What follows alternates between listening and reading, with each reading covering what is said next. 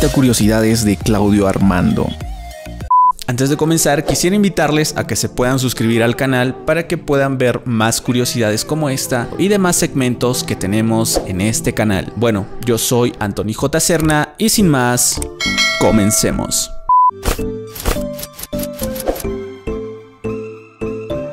Número 1. Su nombre es Claudio Armando Castro, más conocido como el fenómeno de la cumbia. Número 2. Nació en 1999 y es natural de Iquitos y actualmente tiene 23 años. Número 3. Es de nacionalidad peruana. Número 4. Se fue a Bolivia a buscar más oportunidades dejando a su familia en Perú y hoy es uno de los vocalistas de la agrupación boliviana Los Capos. Número 5. Casi toda su vida vivió con su mamá y papá, quien tuvo preinfarto cerebral tres veces, por lo cual estaba postrado en una cama por siete años. Durante todo ese tiempo, Claudio no podía salir. Sus hermanos hicieron su vida aparte y él era el único que vivía acompañando a su madre y a su padre, y solo se dedicaba a los estudios y a cuidar de su papá, porque su mamá siempre salía a trabajar. Número 6. Cantaba desde que estaba en el colegio, donde demostró tener un talento nato para el canto. Mostró que no le gustan los shows con playback y dominó el quechua a la perfección en este show en vivo que hizo.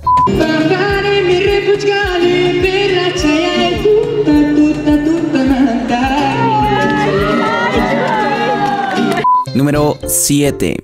Desde hace casi dos años conquistó Bolivia y el boom del éxito de Claudio Armando se desató al interpretar Boquita de Caramelo. Número 8. Es el que tiene más cuentas fake en Facebook y Teca, pero su verdadera cuenta en Facebook es esta y cuenta con más de 417 mil seguidores. Y en Teca es esta que cuenta con más de 789 mil seguidores. Número 9. Hubo un tiempo en que se habló mucho de que estaba saliendo con Yarita Lisset, pero él mismo aseguró que solo es una amiga y que por ahora no quiere estar con nadie. Número 10. Claudio Armando se considera la oveja negra de la familia, ya que de todos sus hermanos, él era el único al que no le iba bien en los estudios, y siempre sacaba bajas notas, o aprobaba con lo mínimo, y siempre era salvado porque era el único que cantaba en las actividades del colegio.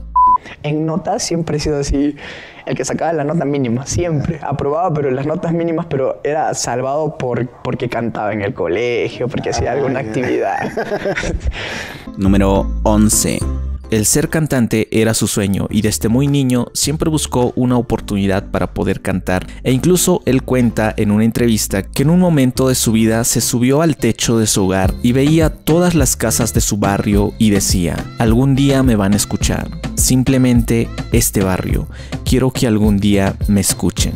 Número 12. Cuando era un joven, admiró mucho a Michael Jackson de donde nació su encanto por el baile y aparte del canto, en múltiples oportunidades ha demostrado ser un buen bailarín. Número 13. Se presentó dos veces en Factor X de Bolivia, donde lastimosamente no pudo estar en las fases siguientes del concurso.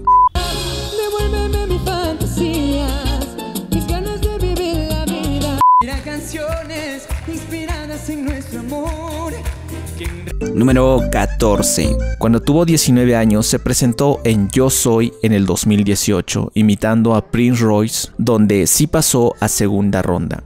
Mira cómo te miro está prohibido. Pero también hace mucho tiempo participó imitando a Abraham Mateo en el 2016.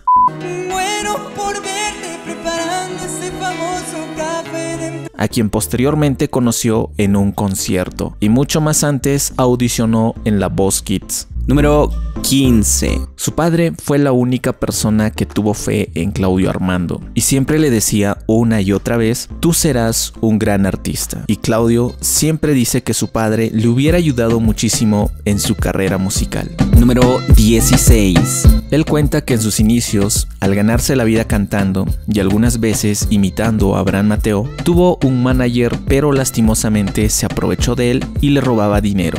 Número 17. Él cuenta que una novia fue la que le motivó a cantar Boquita de Caramelo, y era alguien que siempre le decía que nunca abandone la música y que todo lo que hace podría hacerlo mejor. Pero terminaron porque la carrera que él tenía no era del agrado de la familia de su exnovia, porque tenían un mal concepto de un músico, y por la diferencia de clases sociales que separaban a Claudio Armando de la chica.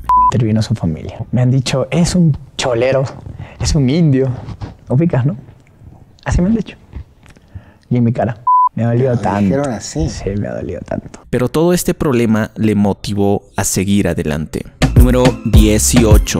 Él cuenta que en un concierto, mientras saludaba a su público, alguien le tiró una botella de vidrio, algo que le lastimó fuertemente, pero que no le dio el gusto a la persona que tiró dicha botella y continuó con el show. Y es una pena, o sea, los contratistas me pidieron, discúlpame por lo que acaba de pasar. No tienen por qué ellos pedirme disculpa por lo que, por lo que un estúpido, discúlpeme la palabra, haya hecho. Pero ellos, avergonzados, me han pedido disculpas los, los contratistas. No sé si, si, la, si a la persona le habrán sacado del evento, no lo sé porque no lo vi.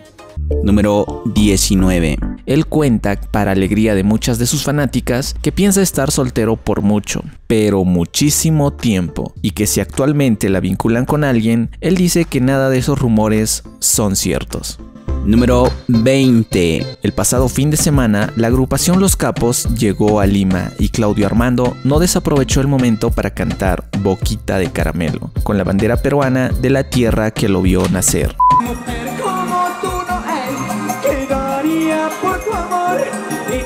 Número 21. Se unió a la plataforma roja el 19 de abril del 2016 y actualmente tiene 30.000 suscriptores. Número 22. Su primera canción publicada en este canal es Maldita Ilusión, que fue estrenada el 8 de mayo del 2021. A tu lado solo aprendí a Número 23. Pero la canción más vista en su canal personal es Más Licor Remix, junto a Johnny Demian, Javier Pachas y Los Capos, que fue estrenada el 3 de abril del 2022 y que cuenta con casi medio millón de reproducciones actualmente.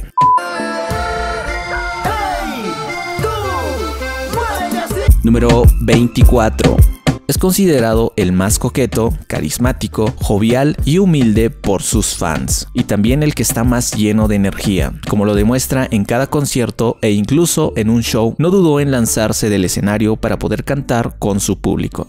Número 25. Boquita de Caramelo en versión cumbia tenía 15 millones de reproducciones, pero fue suprimida de la plataforma roja por problemas con el autor de esta canción, algo que dejó muy apenado a Claudio Armando. Pero la versión en vivo está disponible y cuenta con más de 7 millones de reproducciones. Número 26.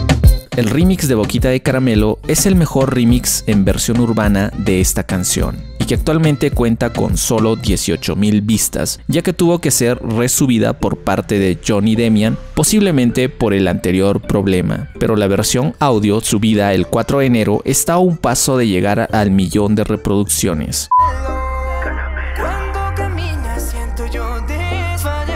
Número 27. Otro de los éxitos que tuvo con la agrupación Los Capos fue Señor Juez junto a Real Dolor y que actualmente cuenta con más de un millón de vistas. Señor juez. Número 28. Es el que más veces colaboró con Johnny Demian y el pasado mes estrenaron Dos Cervecitas, que actualmente cuenta con más de 374 mil reproducciones.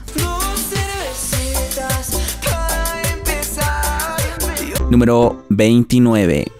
Muchos habló de un video donde Claudio Armando rechaza a una señora y hubieron personas que criticaron este gesto del artista, pero alguien que lo conoce personalmente comentó, no por ser artista tiene que aguantar todo, la gente borracha muchas veces es irrespetuosa y las cámaras son de doble filo, no sabemos qué le pudo haber hecho más antes la señora para que él reaccione así. Claudio es un chico muy humilde, lo cual podría ser cierto porque a la señora se le ve abrazando a muchos de los chicos en el escenario y aparte se la ve muy pasada de copas. Y ya en cierto punto Claudio Armando se percata del estado de la señora y trata de evitarla. Y también se puede ver que la señora les quita la casaca a los demás integrantes. Y luego va por Claudio Armando, a quien también le pide que se saque la casaca. Y tal vez por todo esto Claudio Armando ya estaba incómodo con esta señora, porque imaginen que sea todo lo contrario y sea un señor pasado de copas que esté detrás de algunas chicas cantantes. Número 30 tuvo un primer canal el cual está abandonado por más de dos años y en el que lanzó su primer videoclip. Y bueno amigos, espero que les haya gustado este video. No olvides comentar de quién te gustaría que traigamos sus próximas curiosidades para nosotros poderlo agendar. Bueno, yo soy Anthony J. Serna y conmigo será hasta una próxima oportunidad. Bye bye.